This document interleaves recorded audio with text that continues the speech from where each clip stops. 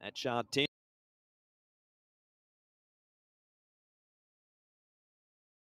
At Sha Tin, Happy Valley Wednesday night. They're off often racing. And from out wide, E Legend began fast. So did Sake Win and Super Winner against the rail. Favourite Magnificent 9 fourth early from XL Choi a little bit wider. Down on the rail is Huge Wave and then came Righteous Arian Blue Marlin. A length away is Romantic Lau from Comet Splendido. Superb Kids on the fence. City Thunder a little wider from his draw.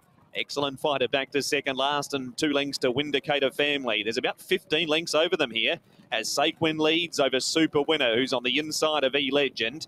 Two lengths away, fourth XL Wong Choi, and a further two lengths to Huge Wave. On the inside then is Blue Marlin, and a further length and a half to Magnificent Nine. Against the rail, Superb Kid from Righteous Harry in the centre. Three up is Romantic Lau.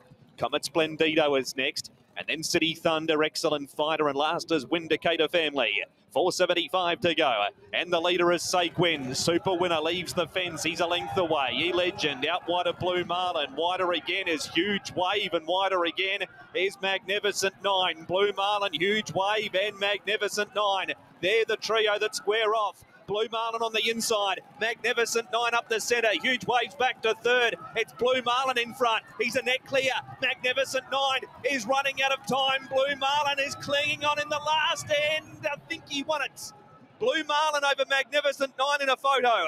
Huge Wave third at a huge price. And then came Superb Kid running on from a Righteous Arian. And then Windicator Family making ground from Comet Splendido, Romantic Lau.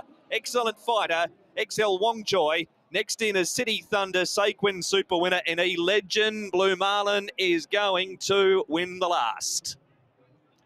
Number one, Green Lamp at the close, 3.6 and 1.5. Hugh Bowman and Douglas Whyte. 11 Magnificent 9. Zac Purton second at 1.3 and two huge wave Luke Ferraris at 30 for a place. It's officially a photo. Outside horse just having one late drive, but he's come up short.